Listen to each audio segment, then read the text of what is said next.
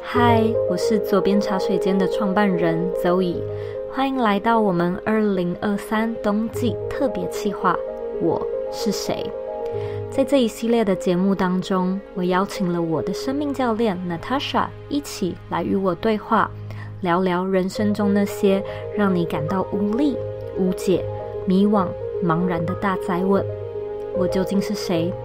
我的使命是什么？我活在这世界上的意义又是什么？这些我们穷极一生不断在探索的答案，究竟跟我们想象中的一样吗？邀请你用轻松的姿态与开放的心态，细嚼慢咽。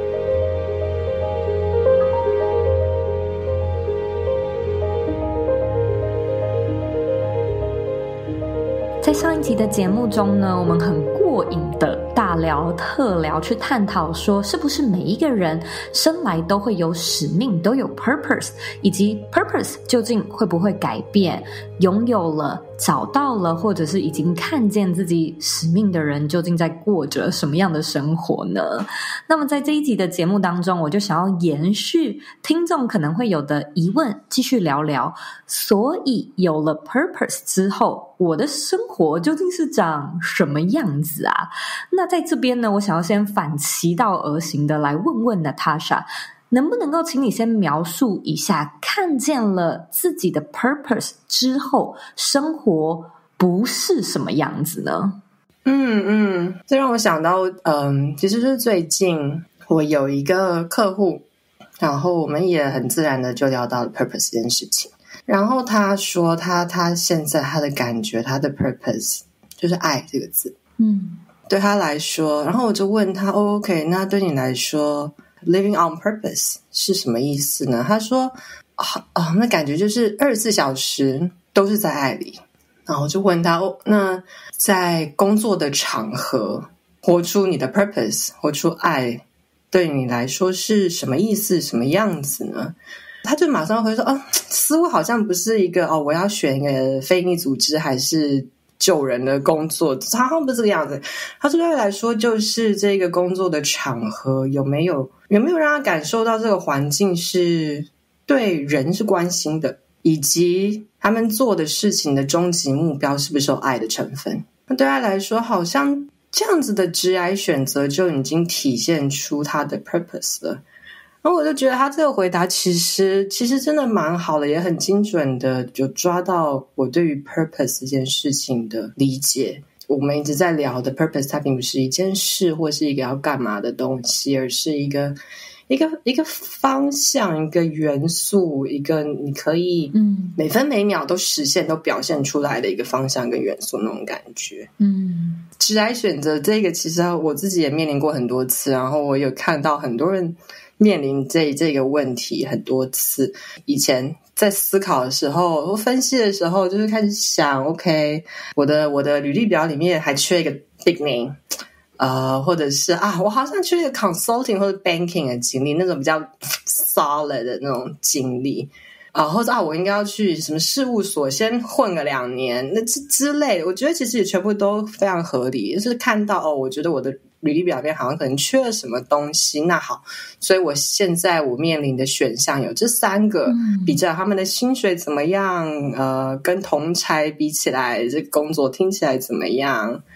呃，以及他可不可以给我？我觉得我履历表里面缺乏的东西，我觉得这些选择的元素也都没有错，只是它没有涵盖到了全貌，就是刚刚聊到的 purpose。对我那个客人来说，爱的那个元素，它其实是一些很核心，但是容易被忽略的、被忽略的元素。嗯，那如果说有办法用一些很简单的词抓到，哦，对我来说，purpose 就是爱，那它就可以变成一个。我在做选择选择的时候的核心主轴，嗯，让我在衡量那些一切外在因素的同时，记得加进这一个核心元素。那整个在做选择的时候的考虑就变全面跟清楚了。要是没有这个核心元素，依照着薪水啊，我的 resume 缺什么，我缺什么能力去做选择的话，通常会走到一个地方，就是哎，我怎么会在这里啊？我在干嘛呀？会很容易走到那个，诶，我我我到底在做什么？瞎忙什么的地方？那并不是说那些元素是错的，都重要。但是我觉得，如果有一个清楚的 purpose。在做选择的时候，会相对变容易许多，并且那种清晰跟踏实的感觉会明显很多。你知道，你刚才在分享的时候，我一直在想“使命”这个词会不会容易让人们认为是一种。职志吗？哪个职？哪个志？职业的职，置业的置啊，职涯的职，职涯置业。嗯，至少过去的我是这么想的，就是一个啊，对，直至要怎么讲？就就就是这个字的感觉，life work 那种感觉。对，life work。然后我也想要问你，所以不是吗？我最直接的答案是不是？哎。Life work 就是 purpose 的表现之一。嗯，我觉得我可以再举另外一个例子。我刚刚举的例子是比较偏向和 career 之涯的。我可以举一个，嗯，不是跟 career 有关的，也是我自己最近遇到。我我前阵子的流感，我被我儿子传染，嗯，儿子传染给我，然后我再传染给妹妹，妹妹再传染给爸爸。就是全家呈现一个大家都病恹恹，然后完全无法上学上班的一个状态，大概一个多礼拜。然后如果是以前的我，我可能会很浮躁，嗯，我觉得我的天哪，一个多礼拜我全部都要请假，我一事无成，我什么事都做不了。本来排好的 meeting，本来排好的工作项目，一个都没有办法做。但是我这一个多礼拜的。经历也有这样子的 moment，我承认还是有这样的 moment，但是大部分的时间不是这样子的感觉的，因为我知道那个 quality time 的陪伴 love 那个成分，这个元素对我来说，也就是我的 purpose 之一。所以当我在好像什么工作都做不了的时候，就只是陪伴他们的时候，我也觉得我是 living on my purpose，我不会真的是在浪费我的时间。那个也是我的自我实现的形态跟方式之一。我其实很喜欢你刚才说到的那个，你知道没有在浪费时间。然后我觉得这句话说出了蛮多人的心声，就是为什么这么汲汲营营？为什么要学这么多东西？为什么不能够停下来？为什么没有办法忍受自己生病了一事无成？然后好好休息的时候也不允许，甚至是厌恶这样的自己？的那个根源可能就是觉得浪费时间，我还可以去做好多好多其他的事情。然后回过头来，如果说有了这么一个 purpose，其实我觉得对现在的我可能会，我觉得使命也一一样是一个不错的词啦。但我或许会有一点点开始觉得它是一种活法吗？你找到了你的活着的方法。是我现在最最简单想到，可能最粗暴的一种讲法。可是我觉得，其实我们在找的就是这个，就很想要知道最贴合我本职本性的那个活法是什么，用这样的活法在过我现在的生活。然后，就像你刚才说的那样子，其实就真的不是在浪费时间。嗯，我觉得活法。对，我觉得你描述的很好，诶，它它它是一个你怎么活的那种过程的概念，嗯，而不是一个要被找到的东西那样子的概念。所以我觉得活法，你刚才讲的时候，我感觉是嗯，对，因为其实我我觉得我过去就是会一直把 purpose 跟 life work 想在一起。所以你今天就是真的帮了我解答了这一块，我就会觉得，我觉得搞不好很多人就是在这里也会有一点点纠缠不清，就会想说使命，感觉就是我要使了命的，使了命的做什么嘛？就是就是那个是什么？就我一直会 可能对那个那个词汇太过纠结，但我就会觉得我难以。真正的去认识这是什么意思？嗯，有的时候可能也是翻译文的问题。可是就对我来说，看 purpose 过去感觉就是在看 life work。我就是想要找到我的 life work，然后我以为那那就是 purpose 的感觉。嗯。对，我觉得这也的确是一个容易踏进的陷阱。嗯，我自己曾经也在这个陷阱里面绕很久，就是有一种我要提着灯笼去找我的 purpose，我的 life work 的这个陷阱。嗯，但当我是以一个提着灯笼去找的这个状态，那其实底下的假设就是：哦，我要是没有找到它，我就不 OK，不完整。以这样的状态去提着灯笼找的时候，它就会变成一个永远绕不出来的地方。对，因为你就是已经在用一个不是这样的活法去活着你的每一天。对，好有意思哦。所以好，那我们就说，呃，也许 Natasha 或者是后来听众都很幸运，我们都探索出适合自己活着的方法了。我相信，可能就像你说的，就是上个礼拜生病，还是会有一些 moment 让你觉得可能有点心浮气躁。就我觉得，生命就是很多时候都不在我们的掌控之内嘛。有的时候，别人的一句话，无心的，或者就是突如其来的一件事情，现在还会那么容易的 trigger 你吗？还还是有被 trigger 的时候，嗯，但跟以前比较起来，这个频率少很多。但它还是以一个至少一周一次或者三四天一次，就是它还是还蛮常发生的。嗯。一个很大的不同是，以前自己被 trigger 会不知道自己被 trigger，可能被 trigger 之后就开始气啊，然后就开始想想干嘛去解决，就是会落入那个以前的模式里面嘛。那现在被 trigger 的时候，就会马上哦察觉到，哎，我被启动了，就马上的本能反应就是去好奇，那到底我被启动的东西是什么？那个假设已经直接变成以前可能是哦，别人可能说了什么惹到我，但现在那一个。回路已经直接变成啊，是我的内在的什么东西被启动到了？那我很好奇，是我的什么东西？那个回路马上就跟以前有很大不同。嗯，然后一些蛮容易，现在还是蛮容易启动到我的事情啊，可能是不被原生家庭或是以前的好朋友理解的时候吧。我的原生家庭是蛮物质主义的。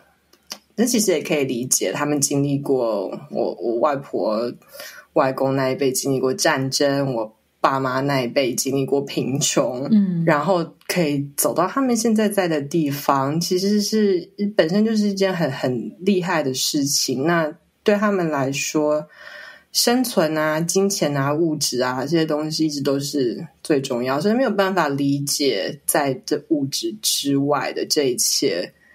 怎么会有这样子的疑问？为什么需要探索这一些？他们没有办法理解。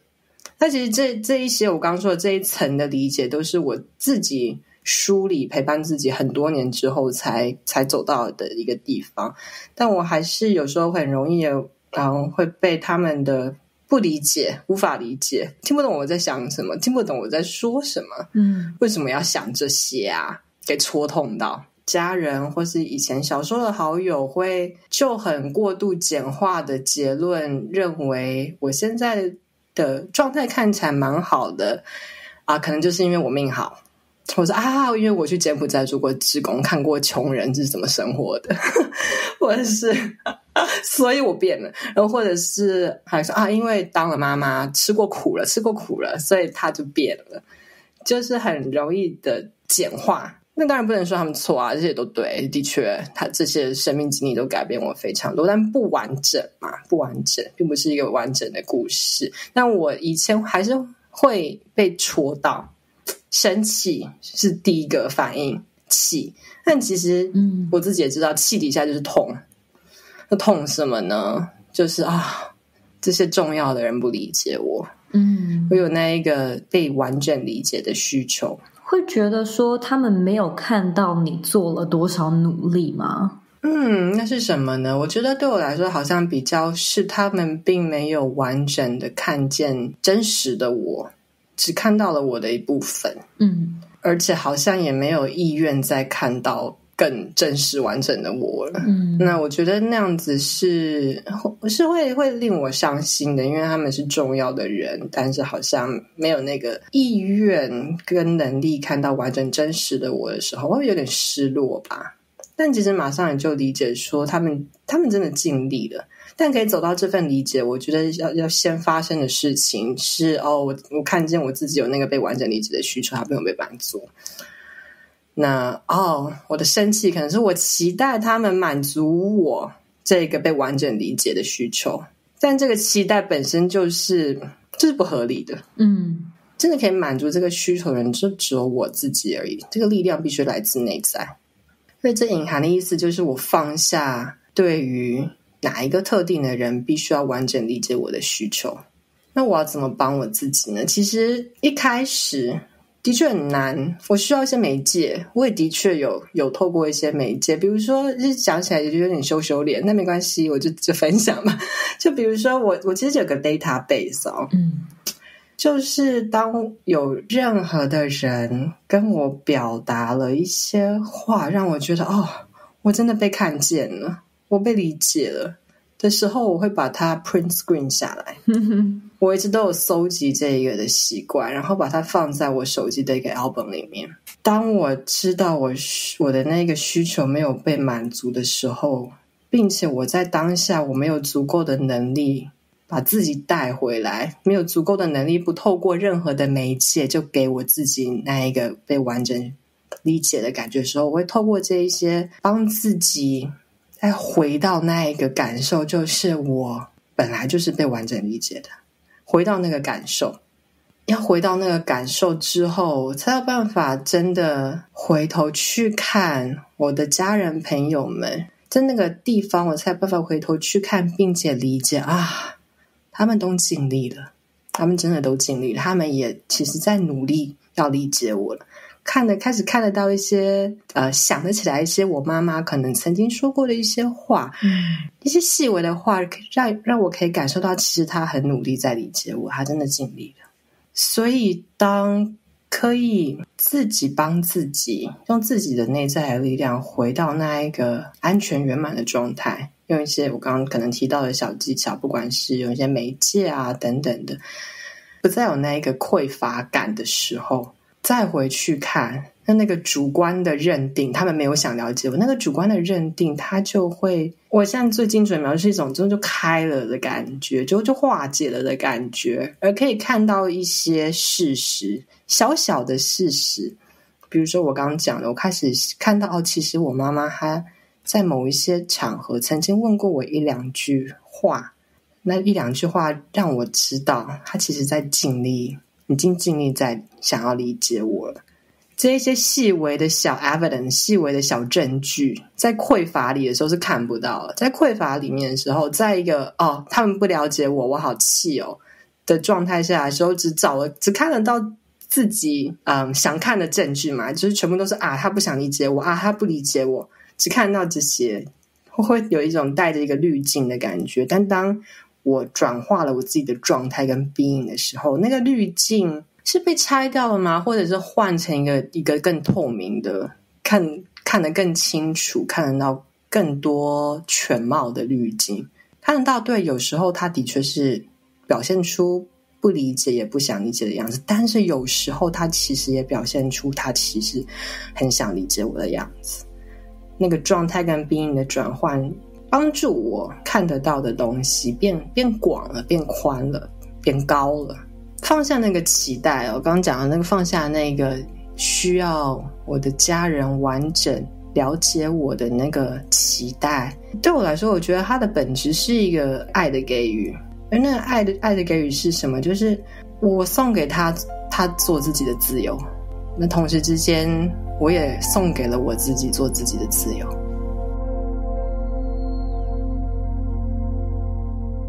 相信你会听到这里，可能是对使命探索的这个主题有一定程度的兴趣。邀请你回到这集节目的资讯栏，找到 Natasha 为你准备的免费 PDF 讲义。在这份档案中，会有 Natasha 分享自己发现使命的历程与故事。她统整出三个深刻体悟以及一个日常练习。并且会搭配一个录音档案，引导你跟着实做，帮助你发现自己的使命。邀请你在节目的资讯栏中找到讲义的领取连结。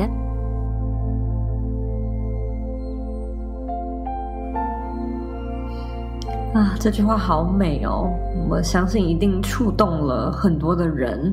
不过，我觉得会不会也有蛮多听众可能会觉得说，匮乏跟需求是有差别的吗？就是我我如果的确是有这些渴望呢，因为他就是我重要的人，我可能想听到的就是他那一句。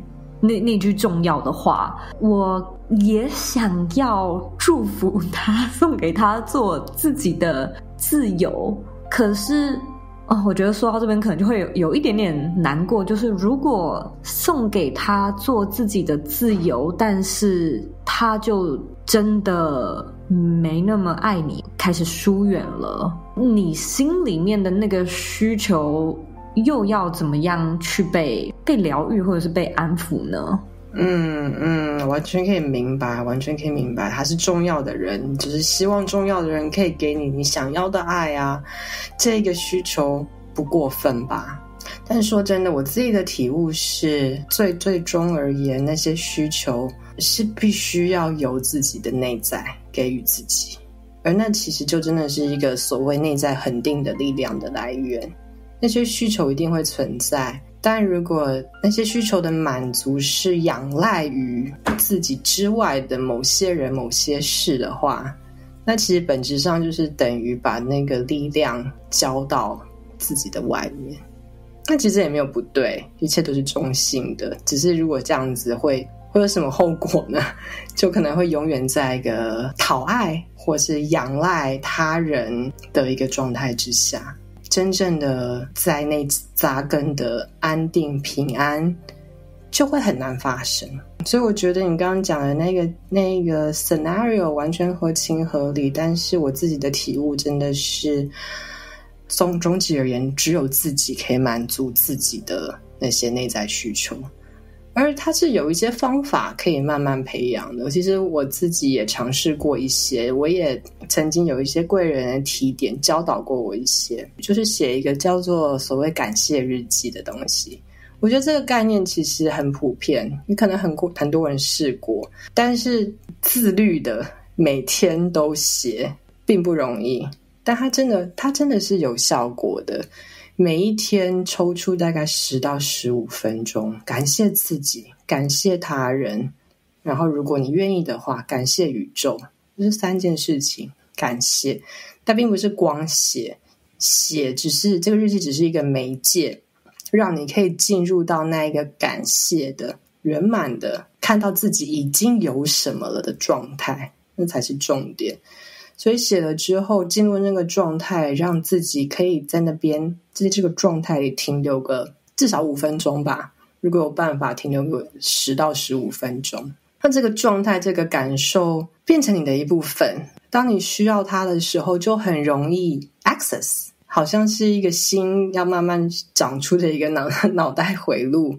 这一个感受，就是我们一直在聊的这个状态。觉得自己被攻击，或者需要被认可、需要被理解的时候，回到这个状态，真的是一切的根本。第二个，我自己也尝试过的东西，是是我一直提到的那个贵人当初教我的这个东西，在我最惨的时候，我觉得他救了我。就当我最觉得我自己是个废物的时候，我我总会这样觉得。但的确，我有一阵觉得我自己是废物的时候，我的贵人把它称之为神性日记。它这有一点灵性的成分，所以并并不一定适合每一个人。但如果你对灵性嗯接受度高的话，我觉得这还蛮值得尝试的。神性日记在写的时候，那个第一人称不是我自己，而是想象宇宙或是我的高我以一个神的角度在对我说话。想象如果我的高我会看我今天所做的一切、经历的一切。他会想跟我说什么？当我可以进入这个状态，我可以想象到这个我我以我高我的视角在写的时候，我发现我自己写出来的都是看到我一些美好的本质，哦，你今天这件事情你好努力了，你真的好努力了，我看我看见你的努力了。或者是你今天跟那一个人的相处，对你生气了，没错，但我也看到你很努力的想要解决那个问题。就以神性的那个高我的角度去去练习写这样的日记，大概两个礼拜，也是会有一个会会长出一个刚刚讲那个感受的那个状态，就是当自己需要的时候，随时可以连接的。他可能会像，如果你刚刚讲那个，我可能我的写法会是哦，我看到你今天早上虽然很疲惫。但是你还是选择展开了你的瑜伽垫，踏上去。我看到你真的想要好好的照顾自己、滋养自己，这个美好的意图，我觉得你真的好棒。他是第二人称的对着你说话，对他直接让我进入了一个状态，是我看到自己的已经做得很好，或是已经有的一些美好意图，那些已经很棒的。进入这个状态，我本来就已经很棒了。这个状态，如果这个状态的连接可以很顺的的话，其实，在面对到很多日常的 trigger，还是被 trigger，还是会，但是就会比较容易回来。嗯，那我也来分享我的。我发现我是一个还蛮喜欢泡澡的人。如果那天过得不好，就是我我感觉我都没有在 plan，我没有在计划这件事情，但就是我会觉得啊，今天好想泡澡哦，然后我就会泡澡。过去我也有住过，就是没有没有那个浴缸的公寓，去外面租房子，通常那种时候呢，我就是洗很长的澡，然后洗完澡之后呢，我就会做一大个流程的清洁。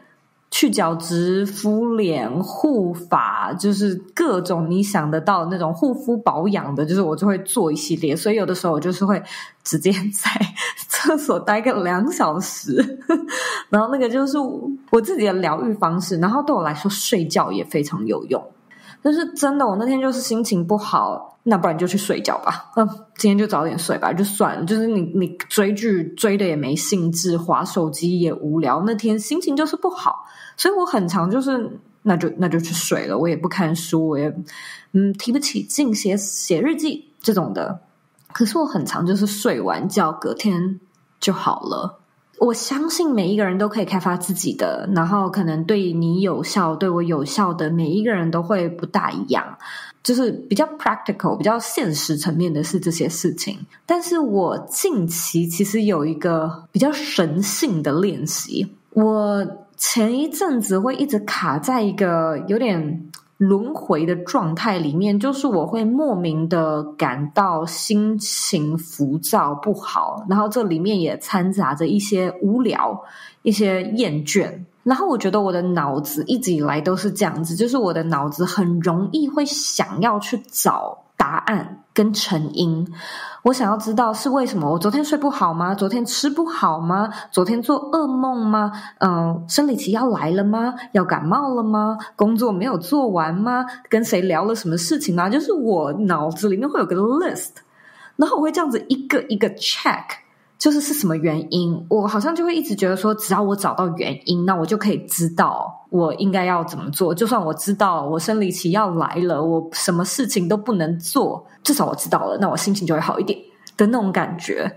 可是在这段时间里面，发现很多时候我是找不到答案的。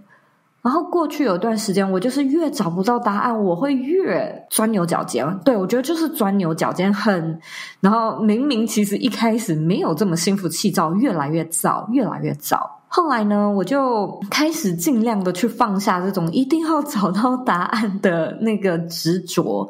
然后我在冥想的时候开始做了一个新的练习，那这个也很灵性，大家可以听听就好，就是。我就会开始去想说，现在这个时空的我，宇宙是这么无限的，可能在其他的多元宇宙中也有各式各样的周易。然后我会做两个练习，第一个呢是我会去有点像是 ask for help，就是我会想象可能 有其他时空的 Zoe 此刻过得很好，就是正在他们的人生的制高点上面发光发热，然后我会。有点像是去问说，能不能够给我一些指点，能不能够给我一些能量呢？既然你的能量那么好，然后我现在在一个低点，又或者是第二个面向是，我会去想说，会不会是有某一个多元宇宙中的 Zoe 现在过得不好？他需要我的协助，所以我可能就是坐在那边，我可能会想象我送给他一些祝福，送给他一些能量，送爱送给他。然后通常这样子完了之后，我就会非常非常明显的觉得我好很多。但到了结束呢，我可能都还是没有答案，我就是还是不知道自己那天为什么心情不好。可是我也是从这个练习中渐渐的发现，或许我不用指导吧，有一些方法能让自己变得，就算没有百分之百很好，好像也有力气。对我觉得那一个很具体的说法就是有力气，有力气去，就是下午还要工作，有力气去做什么事情。就是有时候在烦躁的时候，会觉得真的是无力。那有点像是刚才 Natasha 讲到的那种。内在的力量，就是到底怎么生啊？到底我要从哪里内在怎么生出那些力量？好像就是可以靠我们提到的这种方式，把它把它变出来。嗯嗯，没错我觉得你讲的真的很好，而且它是很非直觉的。可能直觉来讲，你会本来以为哦，我要找到那一个让我浮躁的成因，解决了它。我才会变好，但殊不知，其实有一个不同的途径，就是你本来就可以先回到一个很有能量的地方，不管是透过连接到你的高我，或者是送爱、送感谢给自己、给别人，你可以本来就有资源、力量，回到一个好的地方，然后从那个好的地方再回头看那些本来的问题。它就会变了，可能本来的问题发现它你其实并不是什么了不起的问题，或者是哎，就突然看到一些本来没有想到的灵感。是，而且好像聊到这边也有发现，就是就算有没有找到自己的 purpose，有没有找到就是适合自己的活法之类的，生活中你 day to day 那些鸡毛蒜皮的事情，可能还是会让你有点不爽，那天过得不好。就是好像也真的不是说得到了或者是看见了你的 purpose 之后，你的生活就不会再有这些，还是会有。所以重点就是哪些方法可以从内在换得力量？那这个力量呢，它就跟你是否有 purpose 或是否没有无关。就算有，就算没有，好像都会经历。只是有的话，你可能更快速。可以感受到什么样的事情 trigger 你，然后你可以更快速的疗愈，或者是帮助自己现在此刻从内在去获得力量。那今天的结尾呢？其实我们开始聊到一些比较灵性的东西，那也跟我们下一集的主题蛮契合的。我们下一集呢，就是要开始来聊聊跟宇宙 partner 究竟是一件什么样的概念，执行起来。会长什么样子？所以呢，我们就下期再见。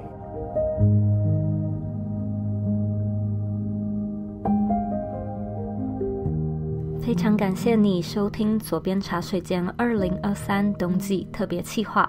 不知道这一集的节目是否有带给你一些悸动，触动到你的灵魂呢？如果有的话，很希望你能到 Apple Podcast 为这个节目留下五星评价。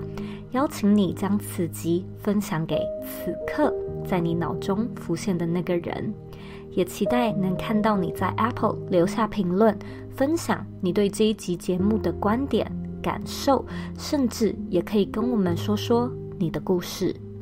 你不孤单，你在经历的这些看似没人懂、没人能聊，好像都是庸人自扰的，我们都能共感，因为我们。都经历过。